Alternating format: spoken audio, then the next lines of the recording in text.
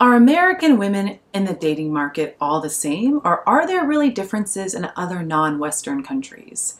In an international study on choosing a mate by David Buss, in 37 different cultures, a woman valued social status more than men in a prospective mate, in both communist and socialist countries, and among Christians and Muslims, in both the tropics and the northern climates. Women in our evolutionary past who failed to marry up tended to be less able to provide for themselves and for their children. The problem is our evolution isn't catching up fast enough to our present day because women are now out earning men left and right.